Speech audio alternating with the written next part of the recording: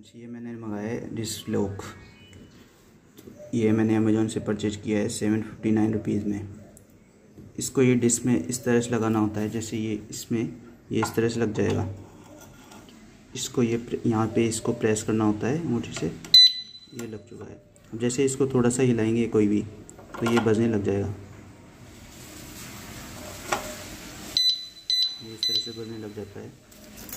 और इसको अगर खोलना होता है तो ये कि इसमें की इस तरह से की लगानी होती। है तो ये देखो, ये फ्रेंड से बढ़ने लग गया। इसको इस तरह घुमाएँगे तो ये खुल जाएगा। ये देखो, ये खुल चुका है।